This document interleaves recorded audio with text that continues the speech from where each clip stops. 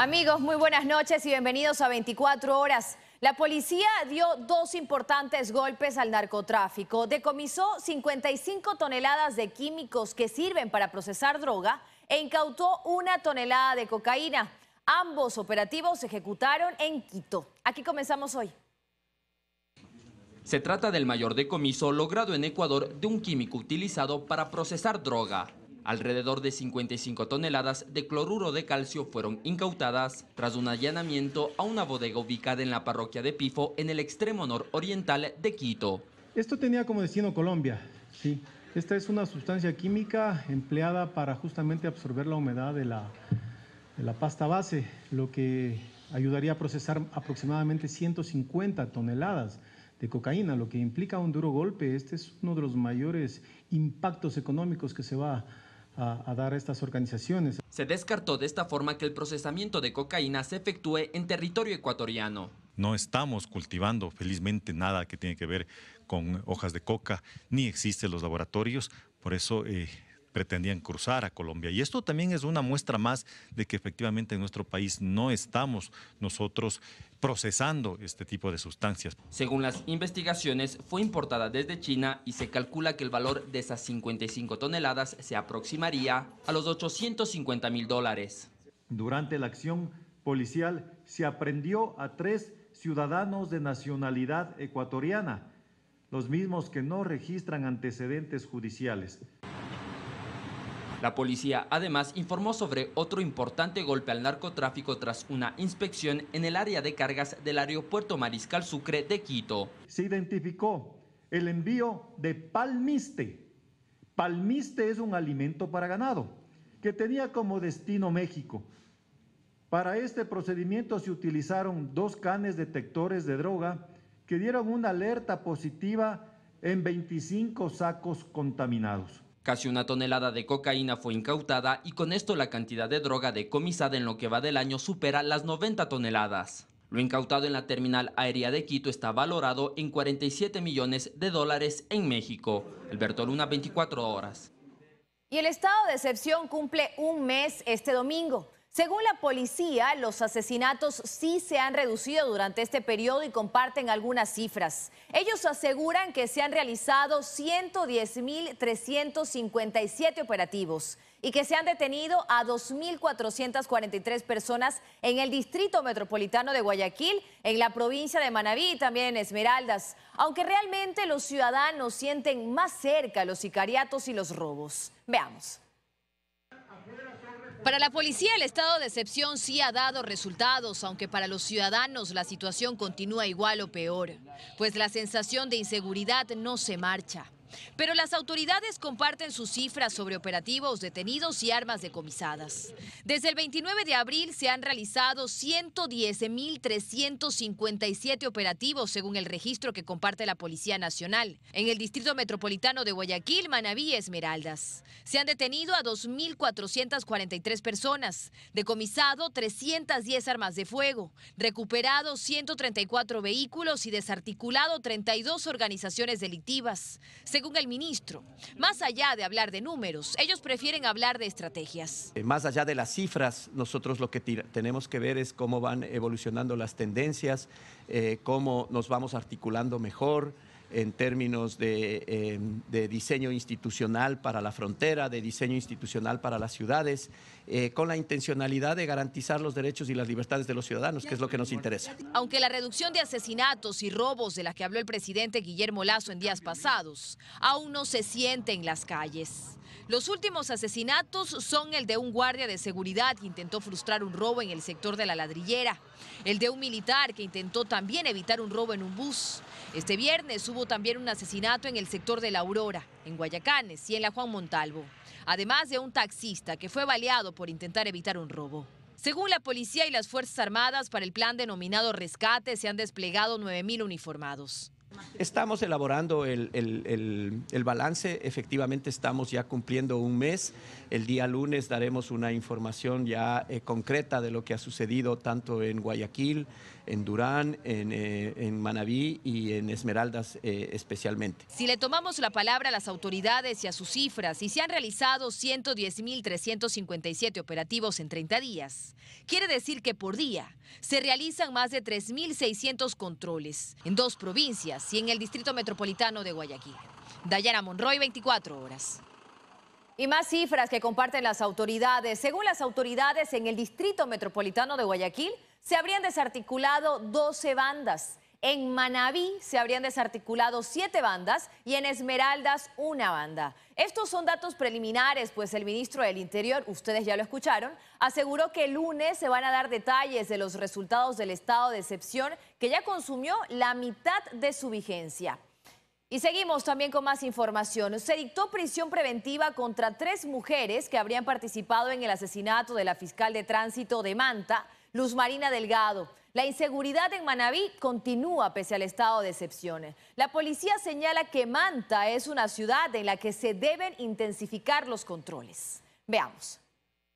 La Fiscalía General del Estado informó que se detuvo y se formularon cargos contra Génesis C, Ginger S y María C por su presunta participación en el delito de asesinato en contra del agente fiscal Luz Marina Delgado y Jefferson Mendoza. Tras la audiencia de formulación de cargos, se dictaminó prisión preventiva por 90 días a las procesadas. Estas mujeres de nacionalidad ecuatoriana habrían sido quienes facilitaron la logística para cometer el crimen. La movilización interna dentro de la, de la ciudad de Manta también serían las encargadas de la recepción de dos de los cuatro ciudadanos que intervinieron en este hecho violento. Sí, serían cuatro las personas que ejecutaron el asesinato, dos de ellos de nacionalidad venezolana. Estas personas habrían alquilado un domicilio por 30 días previos al ataque para vigilar a la fiscal.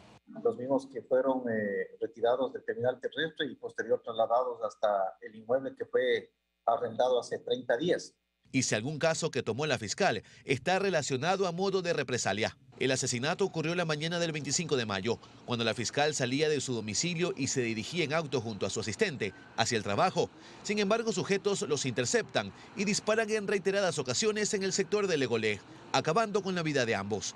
Aún se investiga las causas del crimen. Y de esa manera ir eh, determinando algún tipo de relación o no con los casos que se encontraba investigando. Esto se da en pleno estado de excepción vigente y aunque los esfuerzos en Manabí se centran en Pedernales, cantón que sería el más violento, la policía señala que en Manta, donde ocurrió la muerte de Luz Marina Delgado, es una ciudad a no descuidar, pues es muy preciada para los delincuentes. Por su estructura, por, eh, hablemos, situaciones del puerto, aeropuerto, eh, rutas de, acceso, aquí tenemos rutas de acceso tanto, tanto de, Esmeraldas cuanto de, en sí de, Santo Domingo, o Guayas, Los Ríos, etcétera. Tenemos muchas rutas.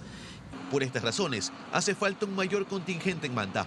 Estas organizaciones delincuenciales de una u otra manera tienen sus bases operando acá en, en Manabí, específicamente lo que es Manta. Las muertes violentas en Manabí han incrementado en 89% frente al 2021. El 85% de las muertes es por violencia criminal y el 50% por narcotráfico. Pese a esto, dice la policía, no se ha aumentado el número de uniformados en la provincia, ni siquiera por el estado de excepción. Tenemos un déficit de alrededor de 600 funcionarios policiales. Además de personal, hace falta renovar equipamiento y vehículos para intentar así hacer frente a la delincuencia y violencia que sigue azotando y atemorizando a los manavitas. Luis Alfredo Zúñiga, 24 horas. ¿Y qué pasa en Esmeraldas? Explosiones con coche bombas, detonaciones con armas de fuego y muertes violentas. Son las muestras de que pese a que en Esmeraldas se mantiene el estado de excepción, los problemas no se detienen. Continúa la pugna entre organizaciones delictivas para dominar territorios dedicados al narcotráfico y al microtráfico, lo que deriva sin duda en hechos violentos, situación que deja consecuencias en el turismo.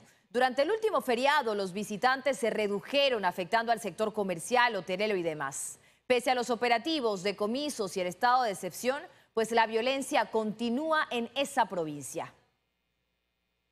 Un artefacto explosivo fue encontrado en las calles Antepara y Avenida 9 de Octubre, en pleno centro de la ciudad de Guayaquil.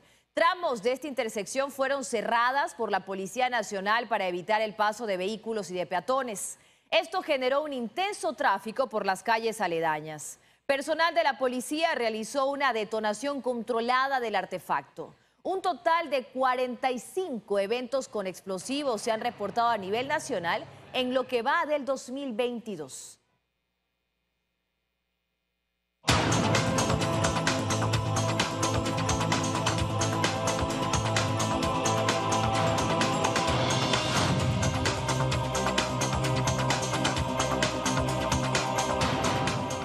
Fronterizos entre Colombia y Ecuador permanecen cerrados por las elecciones presidenciales de este domingo, de mañana. Los ciudadanos esperan que haya un verdadero cambio en el país. Unos 38 millones de electores comenzarán a definir el futuro político de Colombia este domingo, que según las últimas encuestas aún hay entre un 10 y 15% de indecisos que podrían determinar la elección para cualquiera de los candidatos. Los ciudadanos colombianos aseguran que esperan que sea una fiesta democrática. Algunos de ellos piden un cambio y lanzan un mensaje de esperanza. Para la primera vuelta de las elecciones, el gobierno ha tomado varias medidas, entre ellas el cierre de la frontera con Ecuador. El paso fronterizo fue cerrado desde las 18 horas de este sábado y se reabrirá a las 6 de la mañana del lunes 30 de mayo. Esto con el fin de garantizar el orden público en la jornada electoral. La restricción aplica para las fronteras terrestres y fluviales colombo-ecuatorianas. La medida fue dispuesta por el Ministerio del Interior de Colombia. El tránsito terrestre se suspenderá por un total de 36 horas en los puentes internacionales de Mataje en Esmeraldas, de San Miguel en Sucumbíos y de Rumichaca en Carchi. En esta última provincia ecuatoriana también se cerraron los pasos fronterizos de Tufiño, Urbina, Río Carchi, El Carmelo, Chical y Maldonado. La medida incluyó los puestos migratorios, según el decreto. La primera vuelta de las elecciones colombianas para la presidencia están marcadas por la polarización de la sociedad colombiana y por un deseo de cambio que podría aupar a la coalición de izquierda un pacto histórico. Son ocho los candidatos que buscarán suceder a Iván Duque en la presidencia. Isaac Jacome, 24 horas. Pero ¿qué es lo que se juega Colombia este domingo? Se juega un modelo de país para muchos en las elecciones presidenciales de primera vuelta. El anhelo ciudadano de cambio y por otro lado la polarización hacen parte de una elección inédita en la que uno de los principales temores es la llegada del populismo, sea este de izquierda o de derecha. Son varios los conocedores del sistema político y estudiosos de la geopolítica que señalan que Colombia es, en ese sentido, la joya de la corona en la región. Es un país que sufrió los embates violentos de los radicales guerrilleros de izquierda durante 50 años y que ahora enfrenta un escenario inédito. Son una de las elecciones más interesantes que, yo recuerde desde que tengo conciencia política. Colombia es un país pues, muy tradicionalista, muy, muy, muy conservador, pues asustados de que llegue a Colombia una propuesta de izquierda que no ha ocurrido. Eso sería revolucionario, entonces hay mucho susto. También quienes han estado dentro del sistema político en los últimos años temen un posible irrespeto a la institucionalidad democrática. Así lo manifiesta la senadora Paloma Valencia. Esta es la primera vez donde un proyecto populista de izquierda radical que encarna una persona que eh, estuvo alzado en armas contra los colombianos, pues esté presto a llegar con unas propuestas que le recuerdan a uno eh, a Chávez y que recuerda todo el modelo fracasado. Y desde Colombia, donde reside la periodista ecuatoriana Ana María Serrano, nos explica también su visión del panorama y los principales temores que tienen los ciudadanos. En Colombia se está jugando un modelo de país. La gente quiere ver un cambio. Para ella está bastante claro el posible escenario considerando lo que quieren los electores y el comportamiento de las encuestas. Dos opciones bastante populistas y lo voy a decir con nombres. La una es Gustavo Petro, una populista de izquierda y la otra persona es Rodolfo Hernández. Yo estaría dispuesta a votar por cualquier persona que respete la democracia o por cualquier persona que se comprometan que cuatro años entrega el poder. El cambio al que aspiran es innegable, pero en medio del rechazo que tiene la gente al sistema, esperarían que prime la cordura. Ya estamos en un momento en donde no queremos mesías, queremos ideas, queremos reformas, ¿sí? Y podemos tolerar, esa es mi posición, cuatro años de lo que sea, pero cuatro años. Este domingo irán los colombianos a las urnas en una jornada previo a un día feriado y en un país donde el voto no es obligatorio. María Gracia Acosta, 24 horas. Amigos, es hora de nuestra primera pausa, pero enseguida volvemos con más información. No se vayan. Gracias por continuar con nosotros, amigos. Retomamos la información. Alex Guamán, la persona que desistió de la denuncia que motivó la suspensión del presidente de la Corte Nacional de Justicia, ahora recurre a una denuncia penal en su contra. Guamán asegura que fue presionado por Iván Saquicela. Por su parte, Saquicela dice que todo se trata de una persecución política. Seguir los sucesos de lo que ocurre en lo que muchos han denominado la crisis del sistema judicial está siendo complejo, pues cada día se suma un nuevo elemento. Este viernes las cosas parecían estar a favor del suspendido presidente de la Corte Nacional de Justicia, Iván Saquicela, luego de que Alex Guamán, el denunciante que motivó su suspensión, desistiera de su denuncia. Pero este sábado la misma persona presentó ahora una denuncia penal en contra de Saquicela, asegurando que lo presionó e intimidó para retirar la queja que presentó en la judicatura. Yo considero que esta es la historia de una patraña. Es increíble.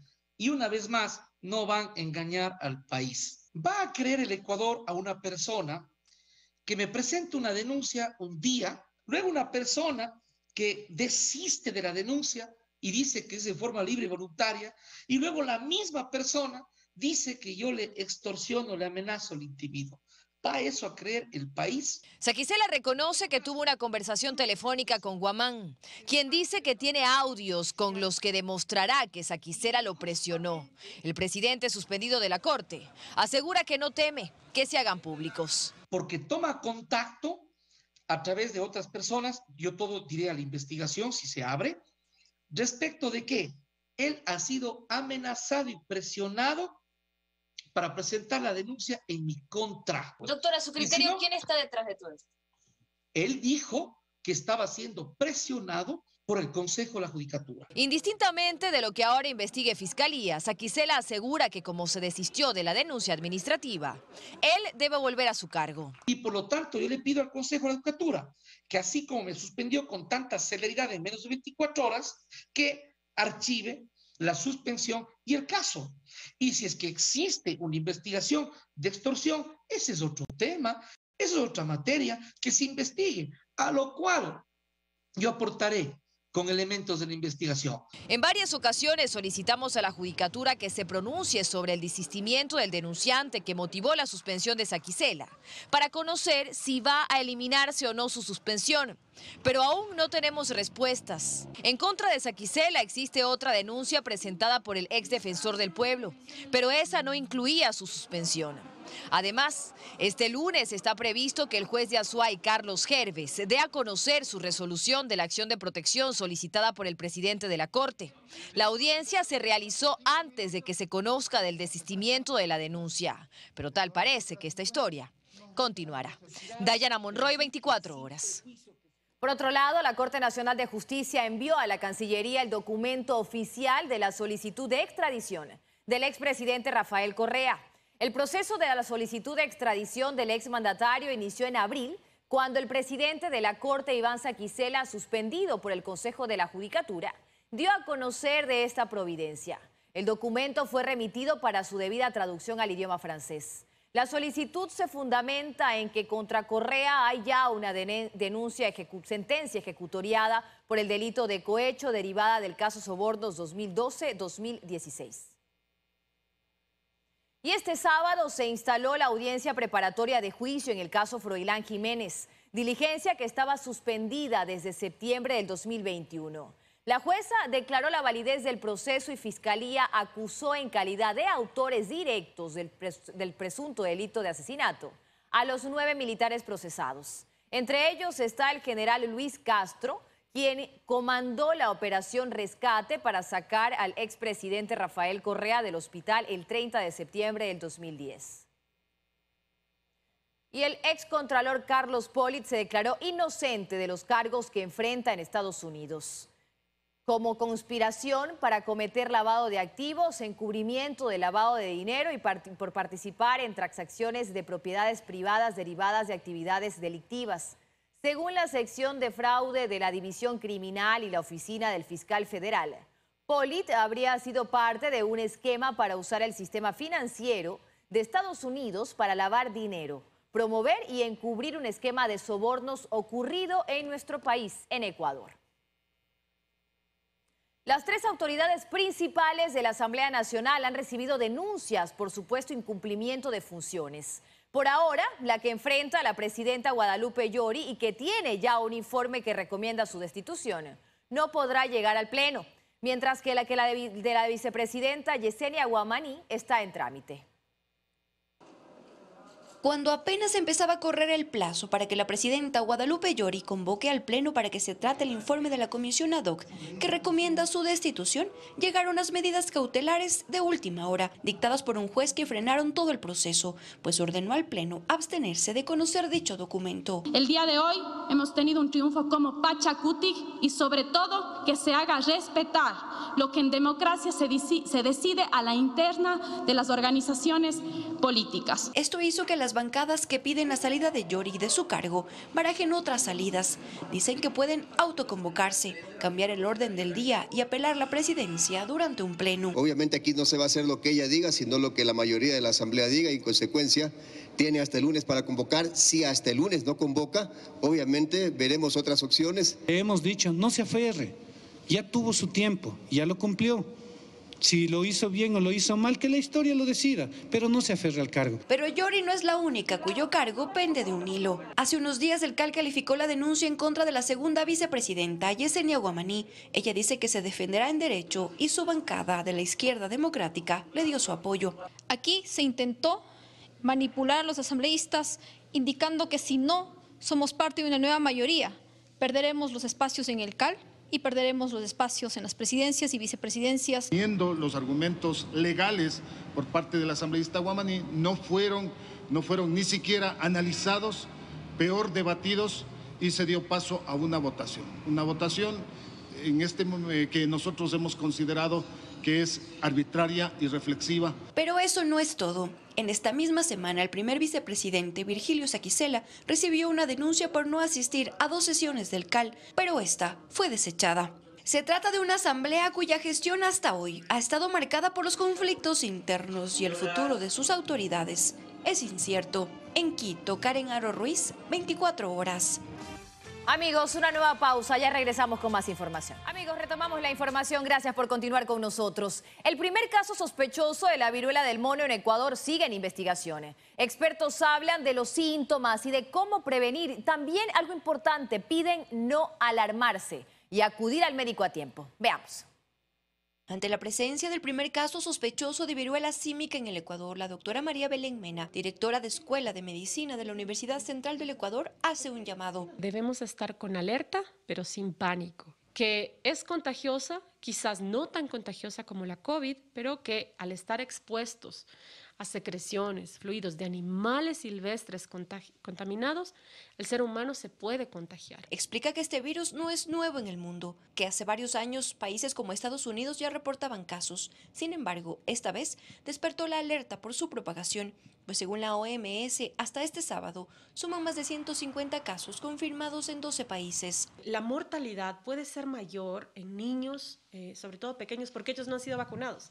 Las personas que nacieron hasta los años 80 tuvieron la vacuna porque en aquel momento había viruela y quizás esta vacuna nos protege contra esta variante. Por ahora, el Ministerio de Salud Pública ha dicho que busca adquirir pruebas e importar vacunas para tratar esta enfermedad. La alerta epidemiológica está activa en el país. Por ello, en caso de que usted, a más de un fuerte dolor del cuerpo y fiebre, presente erupciones en sus manos, pies o rostro, debe acudir al médico. Es un virus que tarda en incubarse y en dar síntomas más o menos dos a tres semanas. Y pues es un virus que ventajosamente hasta ahora no se ha descrito casos de muerte. La mayor parte de casos se resuelven espontáneamente o con tratamiento solo de síntomas. El contagio se puede dar de dos formas. Nosotros nos podemos contagiar al tocar las lesiones o fluidos o secreciones. Existe otra forma de contagio que se está describiendo de una persona infectada hacia otra persona, es decir, de persona a persona, pero eso es menos improbable. Y aunque este primer caso sospechoso en el país aún está en investigación, la experta va más allá e insiste que la mejor forma de prevenir es lavarse las manos y adquirir hábitos como lavar las frutas y verduras antes de consumirlas y sacarse los zapatos antes de ingresar a casa, entre otros. En Quito, Karen Aro Ruiz, 24 horas.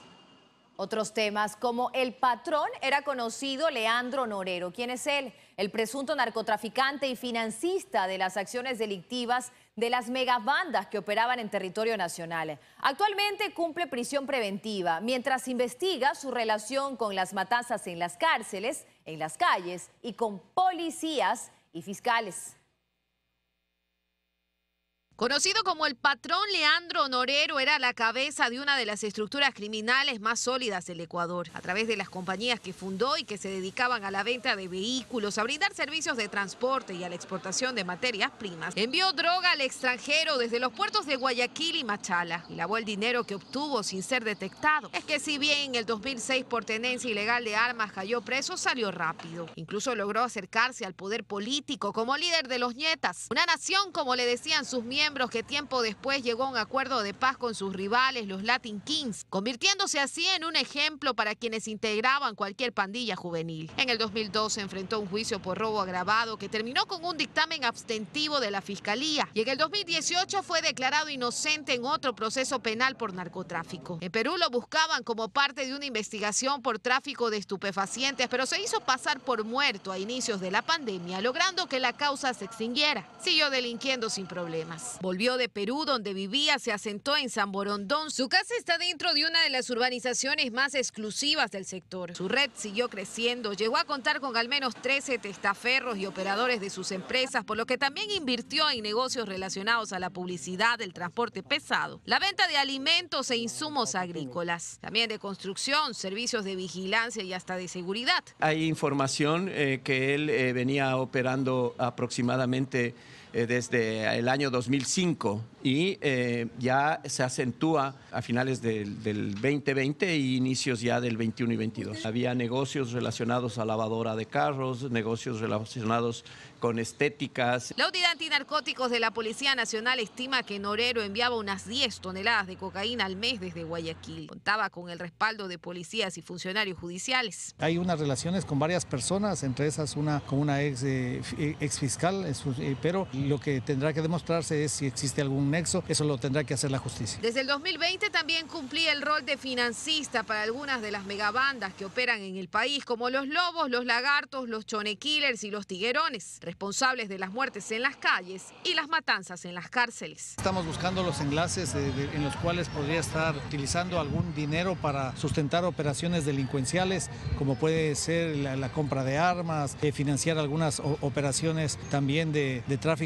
internacional. Y bueno, eso lo va a demostrar en, en, la, en las evidencias y en, y en, el aporte que hagamos a la justicia. Antes Norero era hombre de confianza de Arias Rasquiña, el líder de los choneros que fue asesinado en Manta. Pero después se disputó su relevo con Junior y Fito, los actuales cabecillas de los choneros, y se unió a las bandas contrarias. Los líderes lo bautizaron como el patrón. De hecho, agentes de inteligencia policial afirman que el poder armado y logístico que ganaron los lobos está ligado directamente al crecimiento económico de Leandro Norero, que fue quien pagó los drones que detonaron explosivos en la penitenciaría del litoral el año pasado. Norero ganó visibilidad ante la fuerza pública por un video grabado por encapuchados que se difundió en YouTube y que hacía alusión a un tal Leandro que estaba financiando al crimen organizado. Fue entonces cuando la policía se fijó en sus empresas, en el movimiento de sus cuentas bancarias y en su accionar. La madrugada del miércoles fue detenido junto a su pareja y sus hermanos. Al siguiente día le dictaron prisión preventiva y ahora es procesado. La noche de este viernes fue trasladado a la cárcel de la Tacunga. El juez ha dispuesto que se le traslade a un centro de privación de libertad, que tenga un, un centro provisional y eh, se tomarán los recaudos necesarios. En su poder tenía 24 lingotes de oro casi 7 millones de dólares en efectivo, armas, municiones y relojes finos. Luisa María Heredia, 24 horas.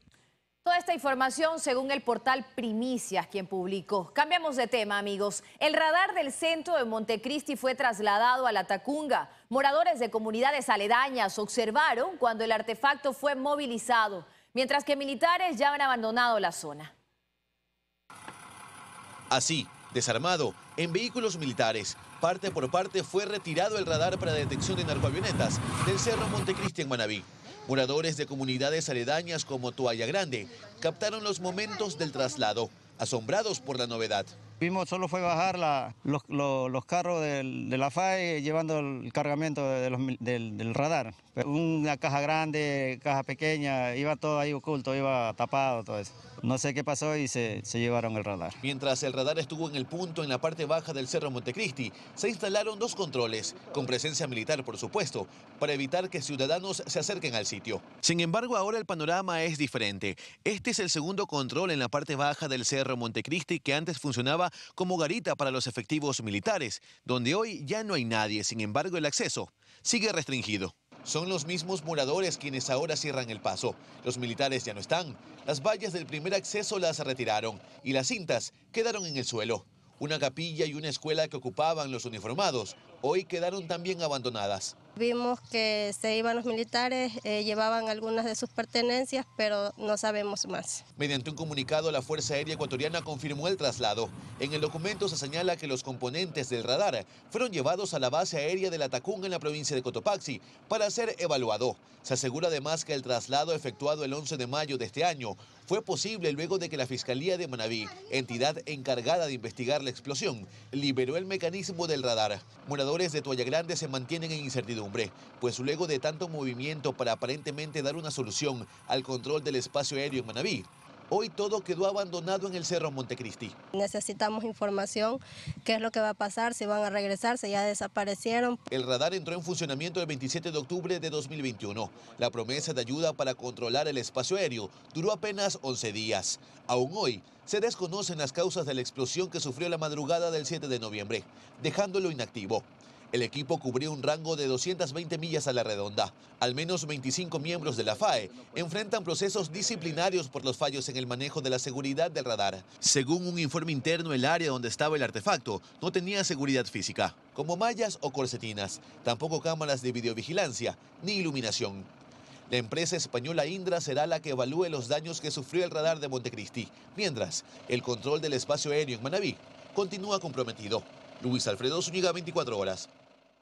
Ecuador se ubica en el segundo lugar de la región con el índice más alto de desnutrición crónica infantil. Por esta razón, el gobierno entregará un bono a madres en situación de vulnerabilidad, han asegurado. Uno de los anuncios que hizo el presidente Guillermo Lazo durante el informe a la Nación es la entrega de un bono para madres en situación de vulnerabilidad y pobreza con el objetivo de combatir la desnutrición crónica infantil el bono de los mil primeros días. Ahí estamos en camino para reducir la desnutrición infantil en seis puntos porcentuales hasta el año 2025. Actualmente en Ecuador, la desnutrición crónica infantil se ubica en un 30%, uno de los porcentajes más altos de la región, por lo que se ha convertido en uno de los problemas sociales que mayor preocupación genera en el país. En el Ecuador, uno de cada tres niños padecen desnutrición crónica infantil. El Ecuador está ubicado en el segundo lugar detrás de Guatemala con el índice más alto de desnutrición crónica infantil, cuando el promedio regional está alrededor del 9-10%, la intención del gobierno es de entregar este bono a 37 mil madres hasta finales de año. Se destinará un presupuesto de 13 millones de dólares anuales. El bono se va a entregar apenas la madre sepa que está embarazada y que el Ministerio de Salud conozca que está embarazada. A partir de ese momento, si cumple con los criterios de, de pobreza, eh, es candidata a recibir este, este bono de ayuda nutricional. El bono será de 50 dólares mensuales con tres bonificaciones. La primera de 90 dólares si la madre cumple con los controles prenatales e inscribe al bebé en el registro civil dentro de sus primeros 45 días. La segunda bonificación será de 120 dólares cuando el bebé cumpla un año y la tercera también será de 120 dólares cuando cumpla dos años. Siempre estará condicionado a que la madre cumpla con los debidos controles para el menor. La entrega de un bono de este tipo, dado que estamos hablando de los recursos de los ciudadanos, de quienes pagan impuestos, tiene que ser manejado con absoluta seriedad y de manera técnica. Nosotros vamos a garantizar que todas las madres que reciban este bono sean quienes realmente lo necesiten Además, todas las madres que reciban el bono serán afiliadas al servicio Creciendo con nuestros hijos del Ministerio de Inclusión Económica y Social, en el que educadores familiares realizarán continuas visitas e impartirán charlas sobre la correcta alimentación de un niño. Es otro mecanismo para verificar que el bono se ha utilizado correctamente. Alberto Luna, 24 horas. Otro tema, vía alianzas público-privadas, el gobierno ofreció invertir 5.200 millones de dólares en proyectos de habilidad hasta el 2025. El modelo de gestión será la concesión. En la lista de obras incluye, por ejemplo, la transformación del ferrocarril ecuatoriano en un tren multipropósito. Las carreteras podían esperar, pero ya llegó la hora que ha llegado el momento de invertir en obra pública, ha dicho el presidente Guillermo Lazo, en el lanzamiento de su Plan Vial 2025, donde se aglutinan los proyectos de inversión en nuevas carreteras, puentes y otras obras, así como trabajos de reparación y reconstrucción. Vía alianza público-privada, aproximadamente 5.200 millones de dólares. Se invertirán en una lista de proyectos entre los que están las carreteras Quevedo-Manta, Montecristi-La Cadena, Loja-Catamayo, y el descanso Gualaceo-Paute. En el caso de la, eh, de la Montecristi, la cadena, hemos recibido una iniciativa privada, igual que también en el caso de la Loja Catamayo. Estamos por recibir una iniciativa privada también eh, de, eh, de la, en el caso de la Quevedo Manta. El gobierno apunta a terminar con estas vías en los próximos tres años pero se admite que es muy probable que otros proyectos como la repotenciación del ferrocarril o la construcción del llamado quinto puente que unirá por el sur a Guayaquil con la vía Durán-Tambo no sean inaugurados en este periodo. El, el deseo del señor presidente es de que esos proyectos sean contratados en su periodo. Usted sabe que en el caso del quinto puente, cuando menos tomará su construcción cuatro años más luego de la adjudicación y seguramente un tiempo muy similar el, eh, tren multipropósito. Un poco más incluso podrían tardar también otras obras, como las autopistas Quito-Guayaquil y Guayaquil-Cuenca. Estamos buscando eh, eh, empresas internacionales de, de mucha experiencia para que realicen los estudios de estas dos vías. En paralelo, el gobierno trabaja en el mantenimiento y reparación de algunas vías afectadas por el invierno. En esto se anticipa una inversión pública directa de no menos de 550 millones de dólares. Están llevando a cabo. Carlos Un abrazo a Paute. Que Dios bendiga.